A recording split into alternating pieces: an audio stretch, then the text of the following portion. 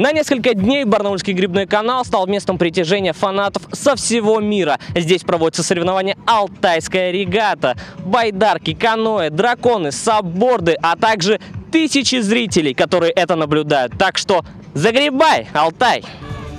И он действительно загреб на первое место. Речь идет о нашей команде спортсменов до 30 лет. В финале их дракон первым пересек финишную черту, обойдя сборную из АЛТ-ГПУ и белгородцев. А в категории 40 плюс в топ-4 вошли местные политехник и алтайские ветераны. Да, честно говоря, не сказать, что сложно, но все-таки спасибо соперникам за такую гонку.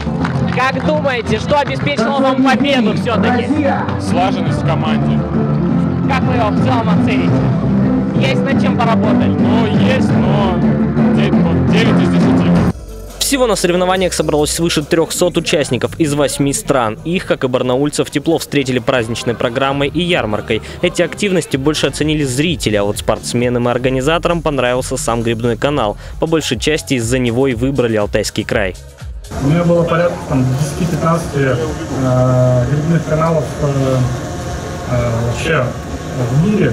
Это один из самых лучших, вот честно, потому что такая работа была здесь проделана, начиная с 2014 года, это дорого стоит. Э, каждый э, раз, когда я сюда э, приезжаю, смотрю, велик здесь доделали, там досыпали, пляж он классно делают.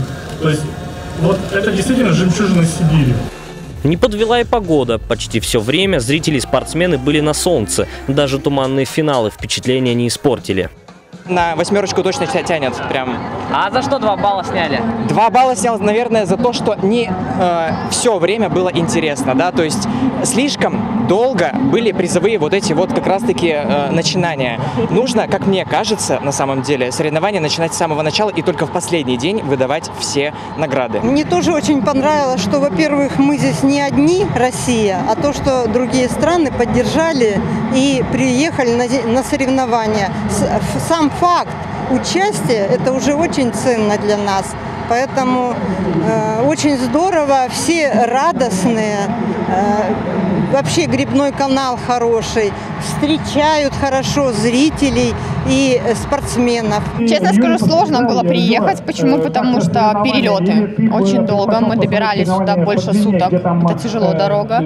Но как чего?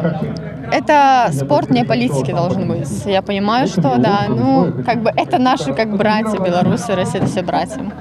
По-любому соревнования, все становимся, мы все спортсмены.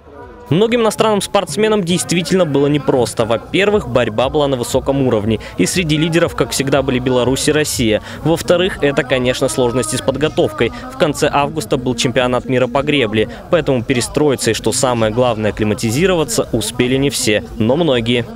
Eh, bueno, en Единственное, в чем разница, это погода, потому что в Колумбии такая погода весь год, а здесь, насколько я знаю, недолго.